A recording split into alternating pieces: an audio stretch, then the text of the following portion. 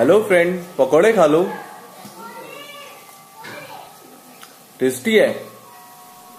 अब इन पकोड़ों का स्वाद आए ना आए, पर जिस टी शर्ट में ये अदरक जैसे फैले हुए हैं, वो आपको सेम डे डिलीवर हो जाएगा फ्लिपकार्ट पर।